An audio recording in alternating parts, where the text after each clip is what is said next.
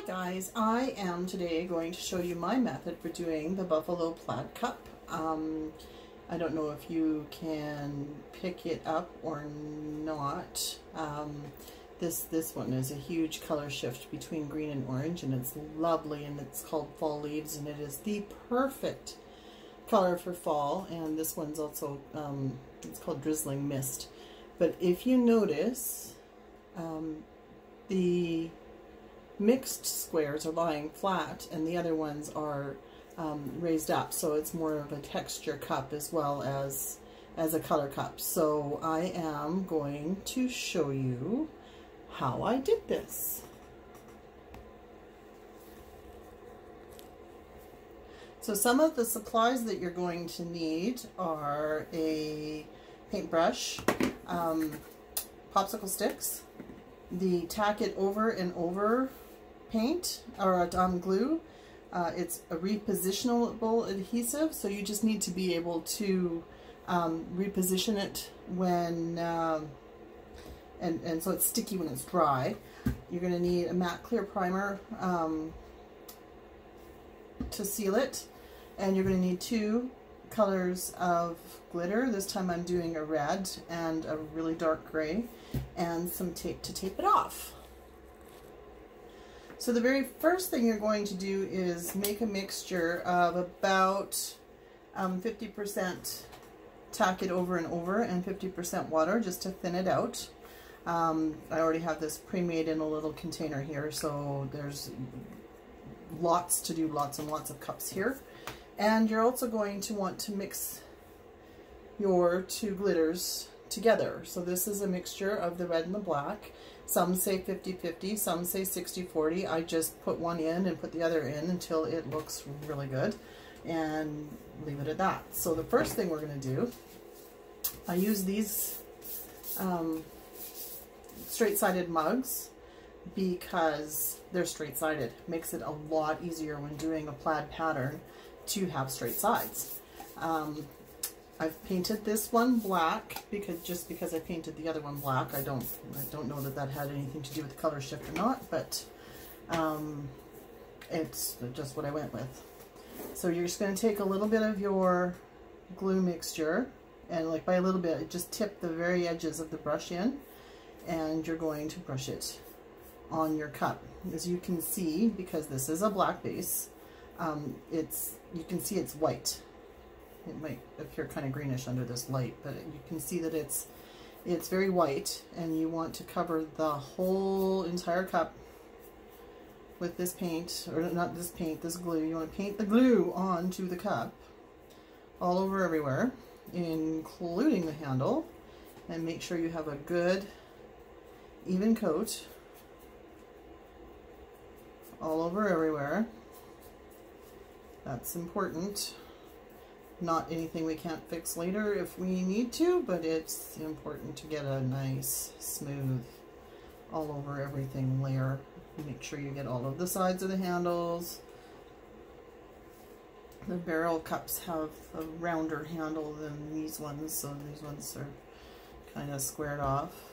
And you just tip the end of your brush in and paint her on.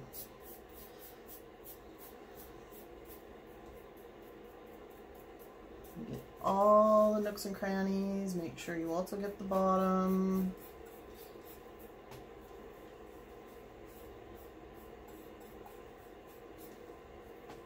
If we need to, we can go back in after we burnish our glitter to um, recoat it if necessary. Now, after you get it all on as evenly as you can, it's going to start to dry. And when it dries, it's clear.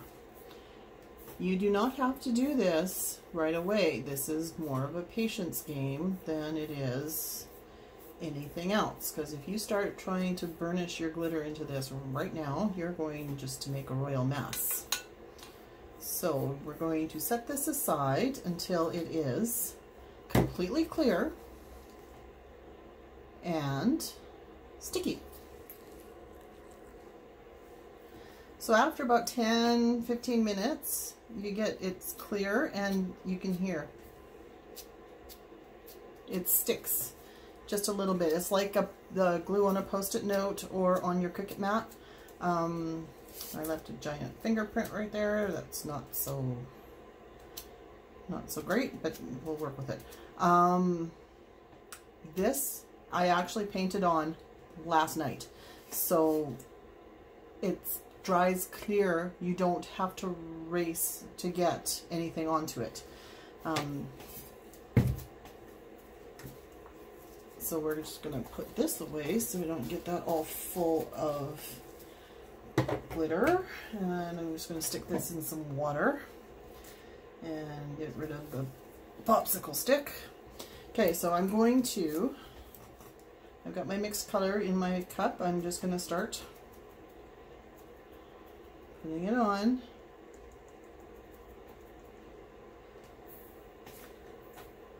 I'm over parchment paper, so because glitter doesn't really like to stick to parchment paper, so that's a good thing. And I'm just going to keep putting it on.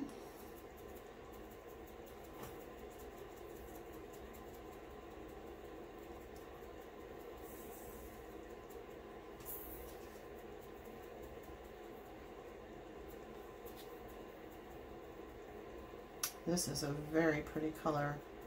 These colors are from M and Cat. Um, wine red and um, something storm, I think, or is it? I can't remember.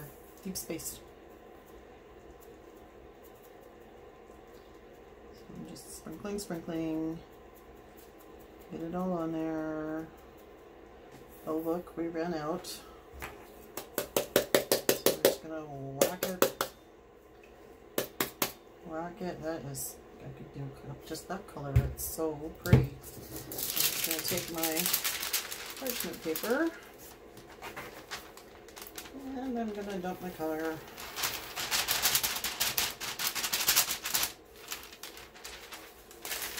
straight into there.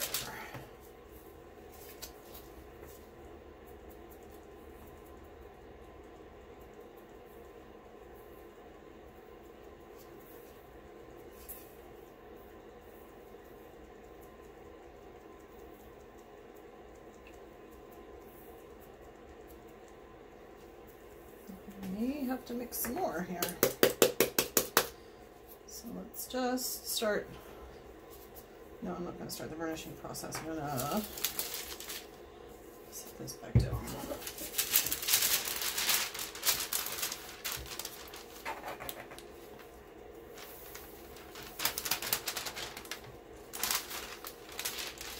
I want as few holes in this as possible before I begin here, so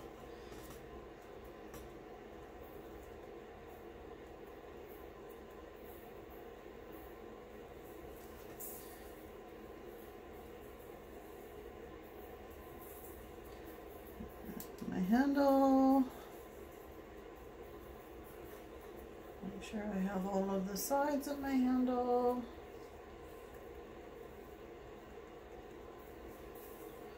Oh, it's so pretty. And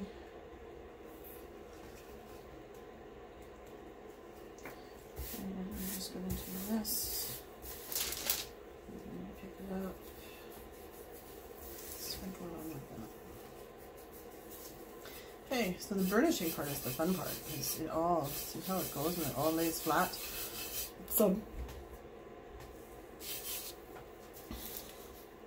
Now you can do this with any glitter. Any glitter, you can do this. It will stick. You can use this as an adhesive for anything. You will not get the holographic effect for any glitters unless you have a holographic glitter. So don't put just a regular old glitter on a cup with the tack-it method, which is what this is called, and expect that when you rub it, it's going to all of a sudden become holographic because this, this one is, and it's lovely, and you probably can't see it, but so I'm brushing all of this you can see there are places where the black is coming through and that's okay. Um, it's not going to stay that way because we're going to fix it, but I think I need to mix a little bit more glitter first and try and get my balance out. note to self, always, always, always make sure you have more than enough when you're mixing two colors together. See, it happens. I just didn't get as good a coat in that spot as I should have done of the glue. So, no big deal. Nothing. Nobody's going to die. Nobody got hurt. It's not that important. People stress about it so much and then they feel like epic failures. That's not you because it can be fixed. I love this color.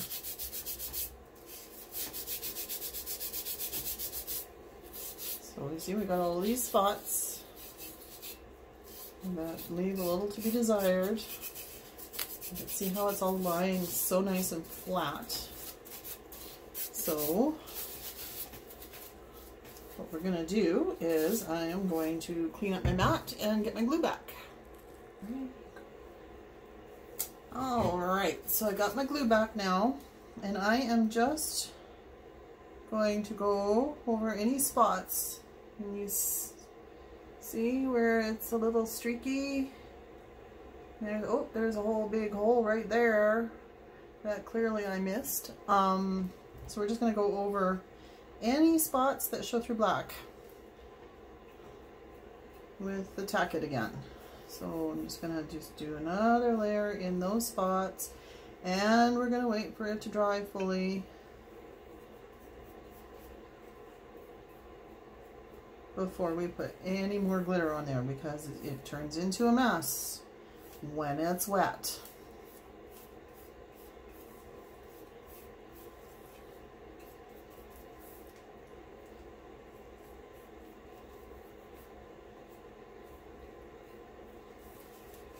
Just as evenly as you can, just go over any spot, well I'm just going to go over the whole thing at this point, but go over any spots that you missed.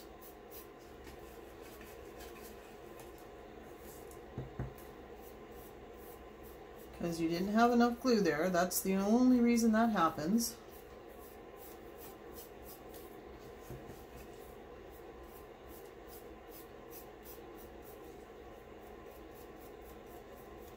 You don't need a heavy coat. You never need a heavy coat. You just need enough. And tacky glue might be what you think of when you think of the tack it method. It does not work. It's a glue. It's just a straight, regular, everyday sticky glue that is sticky when it's wet, but when it's dry, it is not. So um, I think I've got this all covered again. So now, now we just have to wait. So just remember where it's white, it's wet. It's a little harder to tell when you have a white base.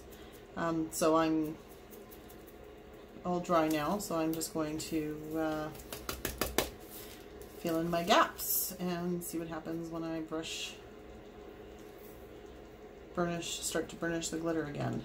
I, I made up some more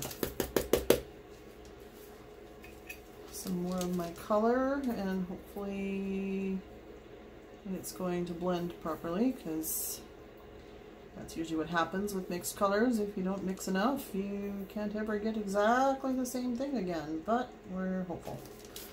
Okay, I'm going to get into here.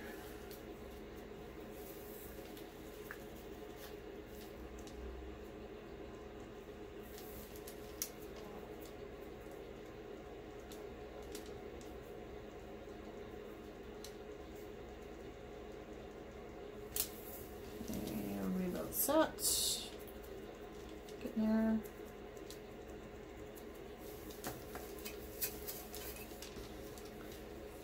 Not quite there. I'm just gonna do this. Just knock off anything that's loose. Make sure you're covering everything.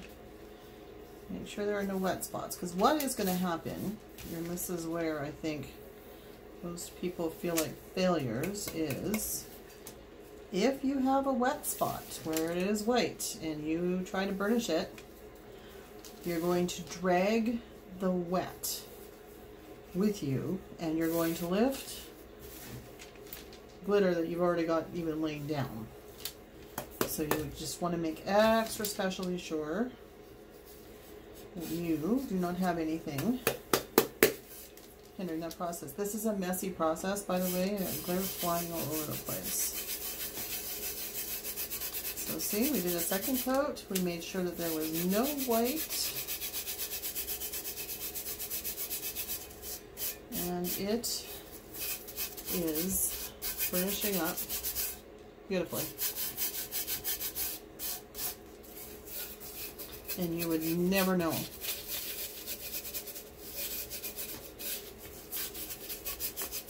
Make sure everything is laying down flat, flat, flat. You can see the holographic in this. Maybe you can't. It's always so hard to tell with these videos. Handle inside. Make sure you don't have any loose glitter and it's just all laying nice and flat. So that,